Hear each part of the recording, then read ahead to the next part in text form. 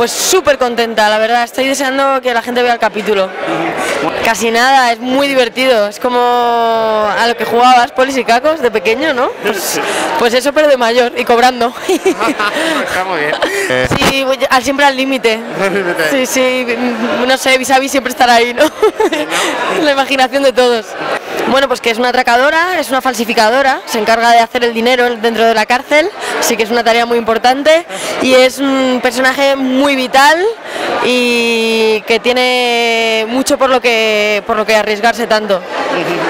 Hombre, ha sido poco distinto, sí, porque hemos ido, ¿no? Había mucha prisa hemos ido ahí creando, pero bueno, ellos tenían bastante claro lo que querían, ¿eh? ya desde un principio. Y lo que mola es todo el proceso que hemos tenido nosotros, ¿no? Para hacernos piña, que ha ido pasando a medida que empezábamos a grabar y al final somos como una banda.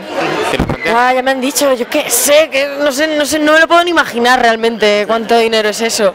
Pero viajar me parece la primera opción buena. Luego ya veré lo que hago lo demás, pero viajar. Te lo piensas, ¿no? Sí, comprarme un teatro.